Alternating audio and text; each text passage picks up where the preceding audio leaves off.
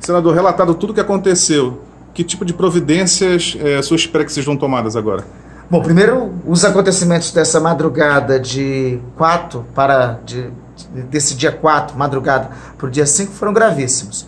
Amanhã, nós iremos tomar um conjunto de providências. Primeiro, nós iremos procurar o Ministério Público Federal, a doutora Natália Muriel, para relatar o ocorrido e apresentar uma representação sobre os notórios acontecimentos desta noite, madrugada de 4 para 5.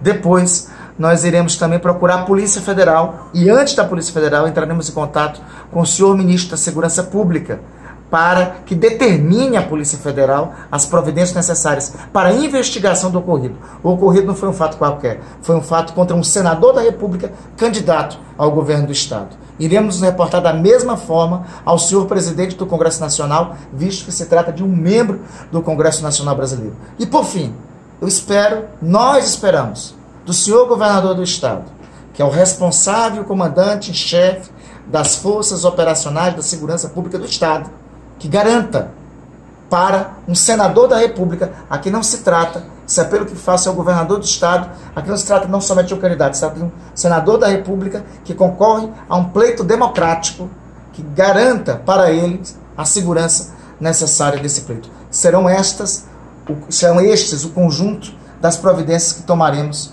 amanhã pela manhã. Candidato, qual foi a qual é o sentimento nesse momento? É um, sentimento de angústia e aflição e de impotência. Minha esposa foi seguida por um veículo descaracterizado e que teve em um momento até uma arma apontada para ela, porque foi tomar satisfação por que aquele veículo estava seguindo ela. As notícias e até ainda há pouco toda a esquina ao redor da minha casa com veículos descaracterizados, fomos buscar no sistema são veículos da Secretaria de Segurança Pública do Estado. É inadmissível o Estado, a força do Estado, em um processo que nós estamos vivendo de eleição, se utilizar desse instrumento para intimidar a nossa candidatura. Então, minha esposa está muito abalada, nós estamos muito abalados e vamos tomar as providências, conforme ditas pelo senador Randolfo amanhã, para tentar normalizar esse momento, essa quadra difícil que nós estamos vivendo no dia de hoje.